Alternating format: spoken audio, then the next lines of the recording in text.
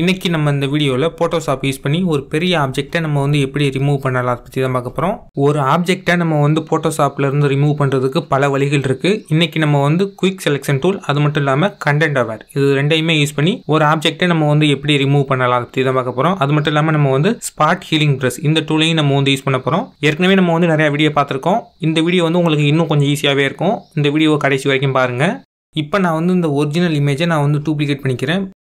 இதுக்கப்புறம் நான் வந்து பாட்டமில் உள்ள லேயரை நான் வந்து ஹைட் பண்ணிக்கிறேன். இதுக்கப்புறம் நீங்கள் வந்து டூல்ஸ் மெனுவில் குயிக் செலெக்ஷன் டூல்னு ஒரு டூல் கொடுத்துருப்பாங்க. இந்த டூலை நீங்கள் வந்து செலக்ட் பண்ணிக்கிட்டு எந்த ஆப்ஜெக்ட்டை நீங்கள் வந்து ரிமூவ் பண்ணணும்னு நினைக்கிறீங்களோ அந்த ஆப்ஜெக்ட்டை நீங்கள் வந்து கரெக்டாக செலக்ட் பண்ணிக்கோங்க. நீங்கள் வந்து பென் டூல் யூஸ் பண்ணிக்க முடியும். பென் டூல் யூஸ் பண்ண தெரியாதவங்க நீங்கள் வந்து இந்த குயிக் செலெக்ஷன் டூலை யூஸ் பண்ணிக்க முடியும். ரொம்ப ஈஸியாகவே நம்ம வந்து எந்த ஒரு ஆப்ஜெக்ட்டையும் நம்ம வந்து செலக்ட் பண்ணிக்க முடியும்.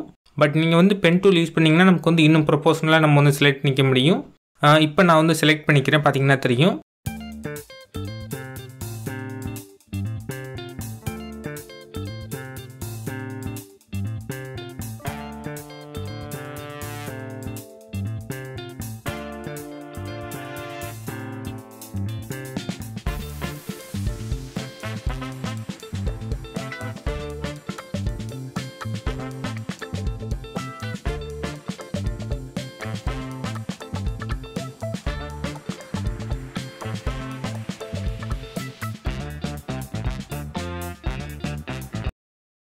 இப்போ நான் வந்து ஃபுல் ஆப்ஜெக்டையும் நான் வந்து செலக்ட் பண்ணிக்கிட்டேன். இதுக்கப்புறம் எடிட் இந்த மெனுவை ப்ரெஸ் பண்ணுங்கள் இதில் ஃபில் அப்படிங்கிற ஒரு மெனுவும் கொடுத்துருப்பாங்க. இந்த மெனுவை ப்ரெஸ் பண்ணுங்கள் ப்ரெஸ் பண்ணதுக்கப்புறம் நமக்கு வந்து இந்த மாதிரி ஒரு பாக்ஸ் ஒன்று ஓப்பன் ஆகும்.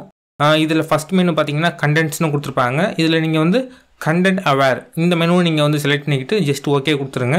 வேறு எதையுமே நீங்கள் வந்து சேஞ்ச் பண்ண வேணாம். இப்போ நான் வந்து ஜஸ்ட் ஓகே மட்டும் கொடுத்துட்றேன்.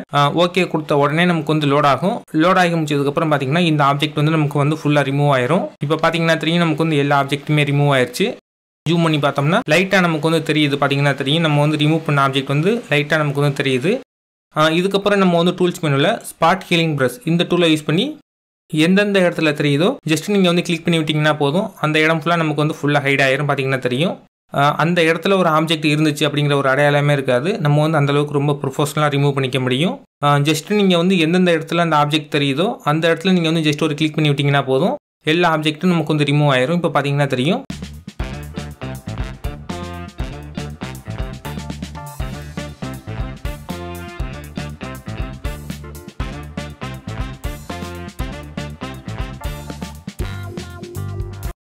இந்த மாதிரி தான் ஃப்ரெண்ட்ஸ் நம்ம வந்து ஒரு பெரிய ஆப்ஜெக்டை ஃபோட்டோஷாப் யூஸ் பண்ணி ரிமூவ் பண்ணணும்.